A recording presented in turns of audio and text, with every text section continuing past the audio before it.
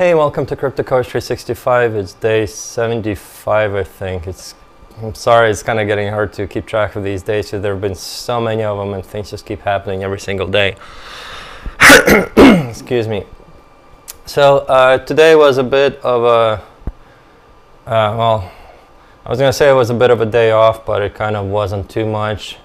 Um, with the trailers that uh, we got in place, uh, I mentioned that there were a little bit of issues where we were having with the county with regards to um, we got the paperwork that supposedly proves that we are grandfathered in to be able to have these mobile homes on our property.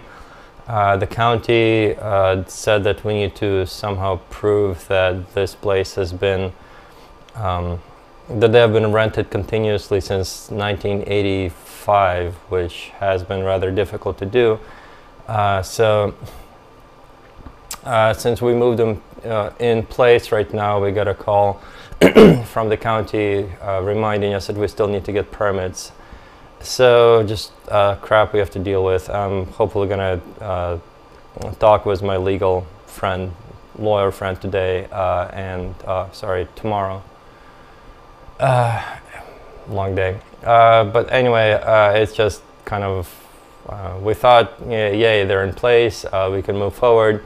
ended up having some. Um, mm, issues, uh, more roadblocks, I guess, uh, which, as I said, I mean, you mentioned my opinion on that. Uh, we are trying to provide a home for somebody who is low income and would be unemployed, uh, sorry, not unemployed, homeless without it, but uh, we need permission to put uh, things on our own property from some people who have nothing to do with any of it other than feeling like they're important. So, but uh, yeah, just something to deal with as we go forward.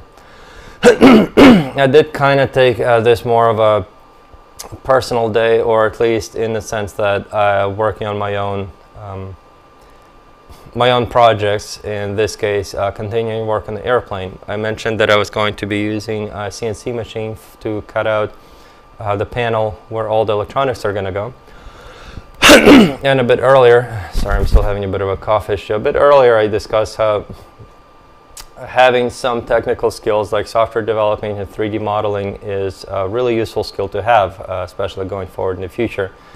And uh, this is kind of uh, an example of that. So it was about two hours of learning how to use the software, about an hour of actually uh, just importing the already existing models or setting them up in place.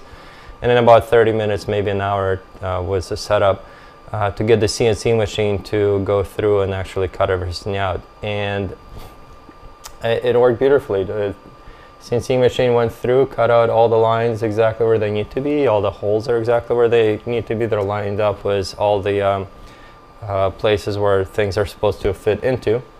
Uh, lined up with all the screw holes. Uh, everything fits just perfectly and now I can actually take this, um, it's not the real panel, this is uh, just masonite which is really hard cardboard, but I can take that panel with me uh, when I travel down to Florida next week to see the positioning of these displays. And if they're a little bit off, like let's say I put them too close together to the center and it means that if I'm sitting in a plane like uh, everything should be centered. So if uh, they're close together to the center of the plane the panel might be off to the right a little bit too much. But I'll be able to see that just by looking where the hole is and adjust it in software. Like in software I would just have to click and drag it uh, or uh, set the setting from the center increase it by a couple of inches and export the file again and the CNC machine will uh, cut out a new one.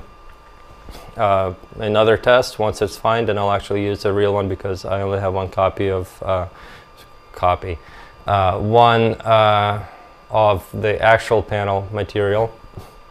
Uh, but this is something that I can, what they call rapidly prototype. Um, like I said, it took me all of I guess maybe three or four total hours of actually going from uh, nothing to having a finished panel. Uh, and I can save a lot of money doing that too because normally to do this kind of a panel you have uh, paper templates that you kind of line up on the panel and uh, tape into place and then start drilling where the templates are or somehow transfer the, um, the drawings onto the panel. And most of the work is actually done by hand.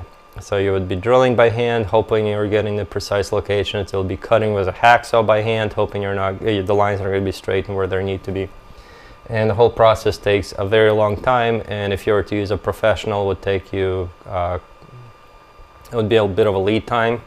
Definitely more than four hours. It's probably a couple of weeks if not a couple of months. And it would cost a couple of thousand dollars. And here it's uh, yeah it took four hours of my own time and uh, it works. So here's the actual uh, let me take this out of here real quick um, the actual panel in close-up uh, as you see everything is fitting fine. I have my main um, display that tells me uh, my altitude airspeed uh, my attitude. This is like which way I'm leaning.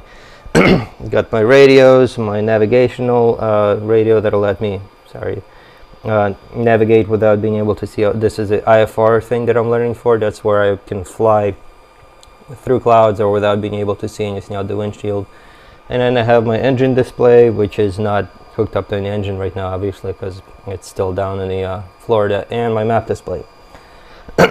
And got my radio tuning in autopilot as well. So but yeah it's uh, as you see it all fits. Yeah there's a big mess of wires on my table. But yeah it's uh, very uh, simple and quick and easy. And uh, I'll actually add a video of the CNC machine itself after this uh, so you can see what it's doing, how it looks and how it's working. Uh, just a fair warning, it's a little bit low. So here's the CNC uh, machine video. And uh, I'll see you guys tomorrow. Bye.